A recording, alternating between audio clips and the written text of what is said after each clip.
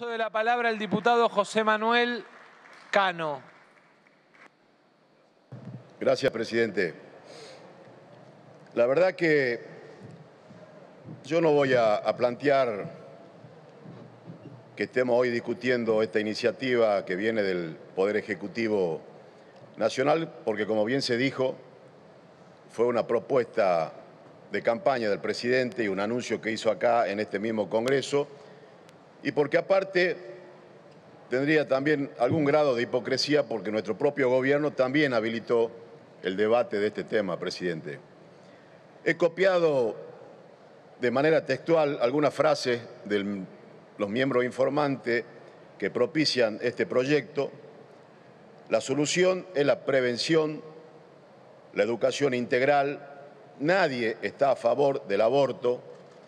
Y la verdad, presidente, que me ha tocado en los años que estuve como diputado nacional o como senador nacional, formar parte de debates calificados como históricos.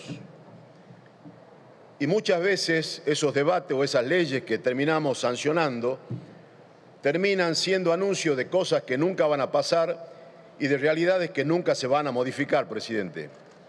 En el año 74 la Organización Mundial de la Salud planteó interpelando al mundo, a la política, al Estado Salud para Todo en el año 2000. Pasaron ya muchos años del año 2000 y todavía seguimos en este país y sigue siendo la salud pública una materia pendiente para miles de argentinos que siguen con la cultura hospitalocéntrica que tenemos, que viven en el interior profundo, no accediendo a los sistemas de salud. Y eso no es una interpelación al oficialismo, es una interpelación a la política, presidente.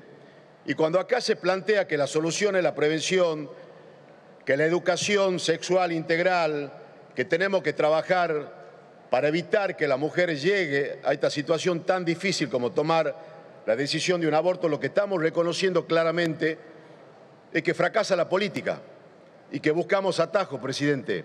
Y es por eso que también vamos a tratar, después de este proyecto, el proyecto de los mil días, que es un enunciado de buena voluntad y que se superpone con leyes que existen ya en la Argentina y que lamentablemente no se cumple. ¿Cuántas mujeres embarazadas hay a lo largo y a lo ancho del país que no la visita un agente sanitario, que no tienen acceso a los cinco controles mínimos durante su embarazo y que muchas veces llegan a los centros de salud con aborto espontáneo por un este, embarazo que no ha sido controlado, presidente?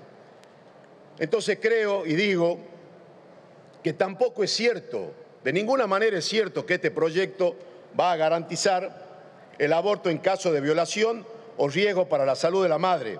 Esto ya está garantizado en el artículo 86 del Código Penal y en el fallo FAL. Y yo puedo estar a favor o en contra, pero no tiene que ver con lo que yo crea o con lo que nosotros creamos, independientemente del lugar que ocupemos tiene que ver con la manda constitucional, y con el cumplimiento de la ley. Ley que lamentablemente no se cumple. No se cumple. Provincias como la de Tucumán, el caso Lucía. Una niña de 11 años embarazada dentro de su propio entorno familiar. Y el fallo FAL en Tucumán es letra muerta. Y la ley de procreación responsable y de salud reproductiva es letra muerta. Y la ley de educación sexual es letra muerta porque Tucumán no está adherida un signo político que gobierna hace 18 años.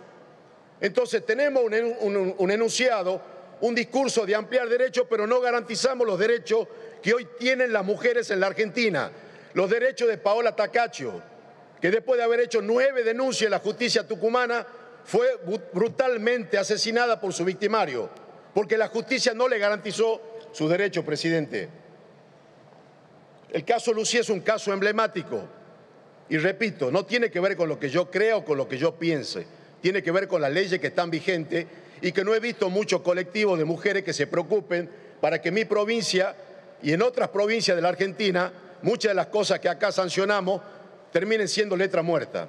Y lo digo de la convicción que presenté en numerosas oportunidades al Poder Legislativo de Tucumán para que se adhiera a la ley. Entonces uno ve por ahí en las redes sociales que hay algunos dirigentes del oficialismo que nos interpelan pero resulta que gobiernan la provincia. Y estos derechos que hoy tienen las mujeres en Tucumán son letra muerta, presidente.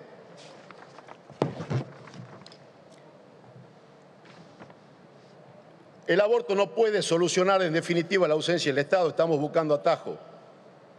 Me parece que la legislación que hoy está vigente en la Argentina, que garantiza el aborto a las mujeres que han sido violadas, y que en la interpretación de ese artículo, cuando no obliga a la mujer a hacer la denuncia, lo hace porque todas las que viven, los que vivimos en el interior, sabemos que muchas veces las mujeres son sometidas dentro de su propio entorno familiar y que no quieren hacer la denuncia.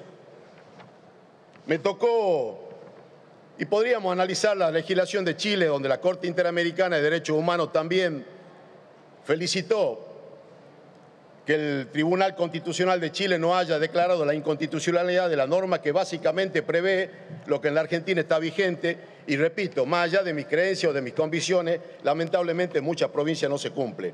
Me tocó, presidente, para ir cerrando, junto al senador Daniel Filmus, a la senadora Liliana Fellner, al senador Gerardo Morales, al senador Ernesto Sanz, militar, un proyecto de ley que finalmente se transformó en ley, la ley 26862 de fertilización asistida en el año 2013. Una ley que conculcaba derechos, que discriminaba claramente a miles de mujeres en la Argentina por su condición económica y que a partir de la sanción de esa ley pasamos de 10.000 tratamientos a más de 21.000 tratamientos y deberíamos estar hoy en 40.000 tratamientos para que las mujeres puedan ejercer el derecho a la maternidad. Y lo hicimos con asociaciones como Sumate, a dar vida, o la ONG Concebir, con más de 300.000 firmas. Esos derechos hoy se cumplen en la Argentina, presidente. Y yo estoy convencido, para cerrar, que este debate ha sido mucho más respetuoso, con mucha más madurez del año 2018, tal vez porque todos hemos sentido en muchos discursos de, los que votan a favor de la ley, nos hemos sentido interpelados.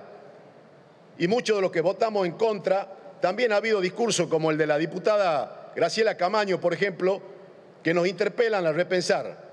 Y creo que en esa madurez, claramente el debate político que hoy se está viviendo acá en este Congreso es muy distinto al del 2018. Pero también creo que este tema no está hoy en la agenda de la Argentina, presidente. Eso no significa que no se habilite a que lo discutamos, que de hecho lo estamos, lo estamos haciendo. Creo que hoy la agenda de la Argentina pasa por otros problemas y que cuando uno habla de la distancia o del descreimiento de la gente con la política es porque, muchas veces transformamos sesiones épicas en hechos que después no se concretan en la realidad, presidente. Muchas gracias.